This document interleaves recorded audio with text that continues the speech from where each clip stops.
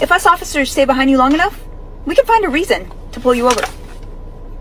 So you might as well get the out of the way. The since deleted TikTok was created by Federal Way police officer Brianna Strauss, who said it was a public service announcement for other drivers. PSA to everyone out there.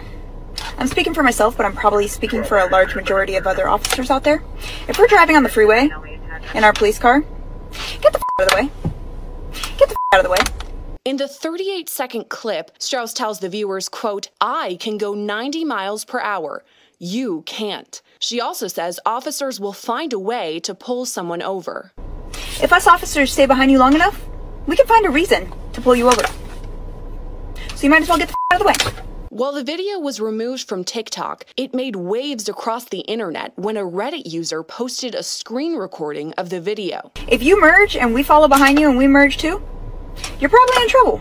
Best way to find that out is get the out of the way. In a statement to local media, the Federal Way Police Department said in part, quote, We have viewed the social media video posted by Officer Strauss and can assure you that it does not represent the core values and practices of our police department. Strauss later received a 10-hour suspension without pay. I can go 90 miles an hour.